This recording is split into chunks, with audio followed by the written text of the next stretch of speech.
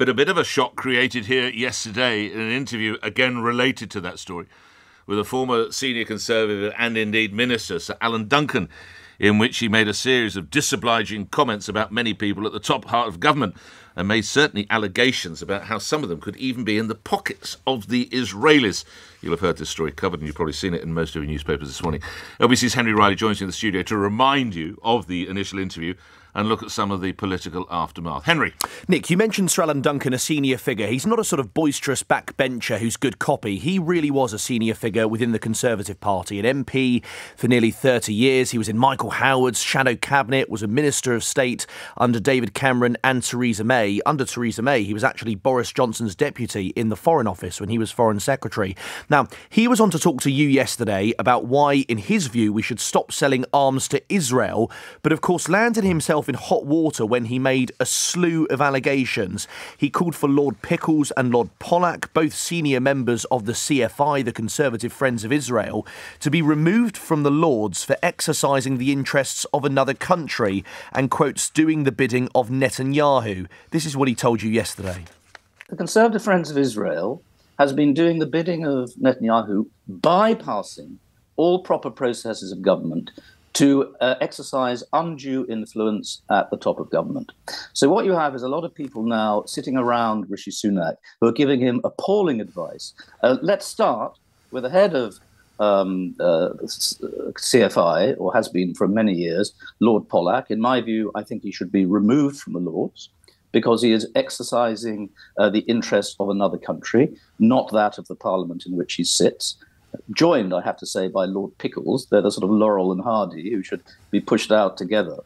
But he didn't stop there. He then called for Priti Patel to be reinvestigated over her trip to Israel. He said Cabinet Ministers Michael Gove, Deputy Prime Minister Oliver Dowden didn't think that settlements were problematic, and then called for the Security Minister Tom Tugendhat to be sacked for not believing in international law. Now, you mentioned, Nick, it caused a bit of a stir. The Jewish Leadership Council described his comments as an anti Semitic trope. The Board of Deputies of British Jews said they were disgraceful, while the Campaign Against Anti Semitism have called for Sir Alan to be expelled from the party. I spoke with a senior Jewish MP as well, Andrew Percy, who told me the comments were reckless, ignorant, and dangerous, calling Sir Alan a ridiculous character.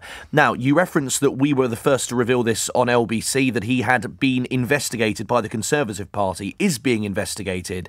They told us he's been told in writing now that his party membership is under investigation. Although the first he knew of this, Nick, was seemingly when I asked him for comments. So he wasn't aware that he was under investigation until that point. Now, what happens next? It's likely to last a few weeks, I'm told, the investigation. It could end up in him facing expulsion. The government very coy on this. You spoke earlier with the Exchequer Secretary to the Treasury, Gareth Davies, who refused to be drawn on whether he should face expulsion. I certainly don't agree with those comments, and you're right. I've uh, myself visited uh, Israel, but I also, with them, uh, visited uh, the Palestinian Authority. Were his comments anti Semitic? I'm not in a position to comment on uh, whether it was or wasn't. He's under investigation by the Conservative Party. Should he be drummed out if you have the powers? That is a, a matter for, for other uh, people in the party, not me, I'm afraid. But he's not one with many friends left in the Conservative Party, Nick, to be candid. One slightly gleeful MP, former minister, texted me to say, No wonder he was never made a cabinet minister. Sir Alan Duncan can now kiss goodbye to that peerage he's been so desperate for. Henry Riley reporting. Let's bring the conversation specifically on the idea of anti Semitism or not. John, now Lord Mann, now, Lord Mann is an independent peer and is the UK government's advisor on anti Semitism. And I'll start, I know you well enough to call you John. John, you'll have certainly heard the comments or read them now. Were they anti Semitic? Morning to you. Oh, of course they were. And I mean, absurdly so. And I, it's almost as if uh, Alan Duncan's trying to get himself expelled um, from the Conservative Party. He seems to be digging deeper. And uh, it's, I mean, if we take an example, I mean, Eric Pickles Eric Pickles very well. And if you want to attack Eric Pickles politically, you could you could call him an old style Tory or a Thatcherite Tory. I think that would be accurate. But um, but Eric Pickles isn't somebody who's even visiting Israel very often, speaking about Israel very often. His work in the last five years has been on the Holocaust, and he heads up our delegation to the International Holocaust Alliance.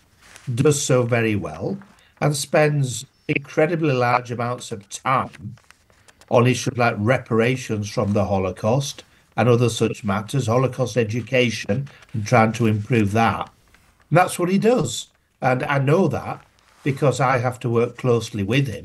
And I see exactly what he's doing. In fact, he's at an entitled conference at the moment doing precisely that. So the idea that he's in some way a stooge for a foreign power is factually nonsense. But it's, I mean, it's deeply disingenuous to even suggest it. Where are you on the idea of the suspension or possibly permanent halting of arms sales to Israel, John? Well, and I've heard your your your your comments, uh, Nick, on that, um, and I, I, saw what Andrew Neil did. There's a there's been a shift of opinion, but I'd like to see the government legal advice. Um, it's unlikely. Come is, on, John. I, I can't remember. They, they will fight shy of that, won't they? But they, they, I'm I'm not sure they will in this case because it, it determines whether or not we're breaking international law. And I think we should operate within the law. I think that's our responsibility as uh, parliamentarians, as politicians. I think I think there's if if Israel doesn't shift to the pressure that Biden and the Americans are putting on them, uh, the the call for offensive weaponry um, rather than defensive weaponry to uh, be stopped from being sold will become the norm and become irresistible. Um, the, the ball's in Israel's court to get its act together in terms of how it's acting and how the aid is, or rather isn't, getting through. And they haven't got much time on that to get their act together. They haven't done. And uh, if the Biden pressure doesn't pay off, then we'll see that happening all over the world. Lastly, John, you won't need reminding this weekend marks six months since the October 7 Hamas attacks. What is your abiding memory? What shocked you or surprised you the most, John? The the scale of it was the only shock.